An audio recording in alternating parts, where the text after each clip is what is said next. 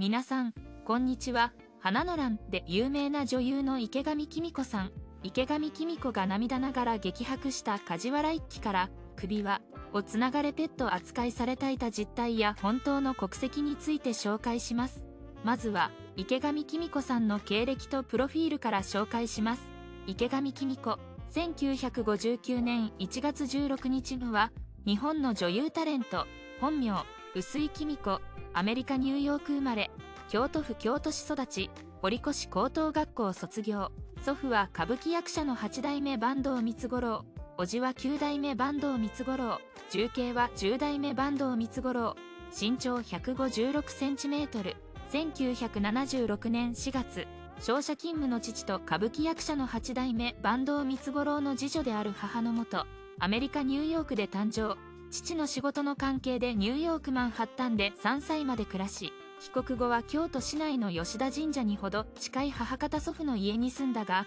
これは京都と東京の2拠点に家を構え活躍していた八代目光五郎が、次第に東京での活動が中心となり、京都宅には年に1から2度しか滞在できないホドルスガチとなったことによる、君子は光五郎の孫であるにもかかわらず、実父の方針により、芸事や習い事を一切禁じられて育った。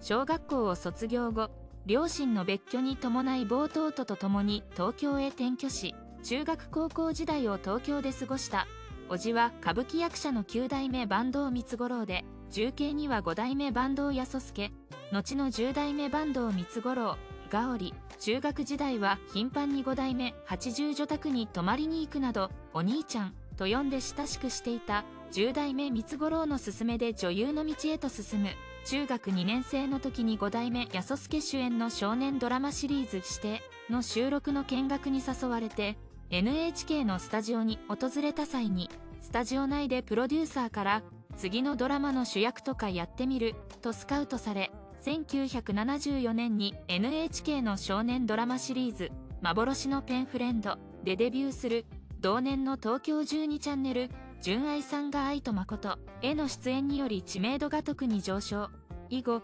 数々のドラマ映画に出演。憂いを感じさせる表情と大人びた色気により愛憎のドラマを演じるのが上手であった。玉川学園中学部高等部から堀越高等学校へ転入し1977年に同校を卒業。堀越高校の同級生には岡田奈々森雅子岩崎宏美らがいた。時代劇では草燃えるを皮切りにヒロイン役もしくはそれに準じる役柄で出演した。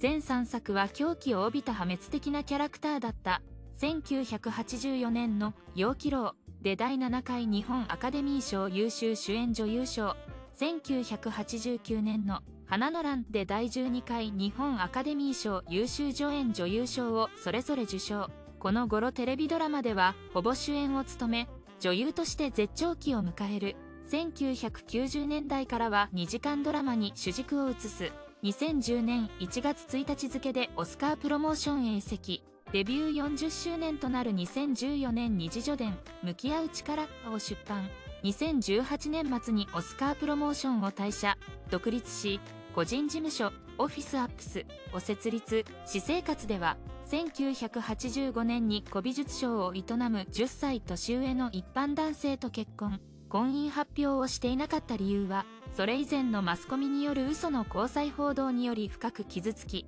マスコミ不信になっていたからと後に告白一女を出産した後3年余りの結婚生活を経て離婚した。2022年には8月にほぼ同時期に両親を亡くしたことを明かしている。2024年3月2年前にコロナウイルスに感染し九死に一生を得たことを諸告白した。梶原一騎との熱愛が噂されたこともあった。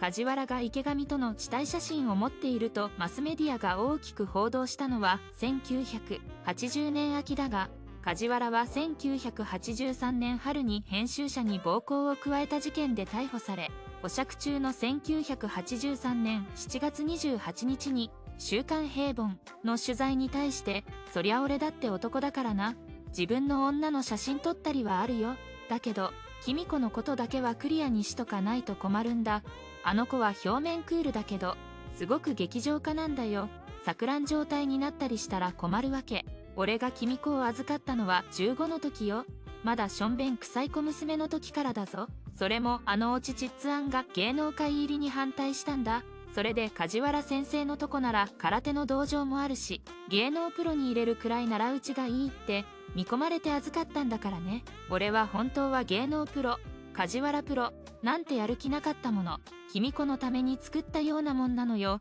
その子が22歳まで俺のところにおってさ突如強姦して写真撮るなんてことありうるか常識で考えて箱入り娘に風を当てないようにして育てたんだ。ガードするには本当に手間かけたのよ。あの女癖の悪いカメラマンの喧嘩ゲオカが公子にくっついた時も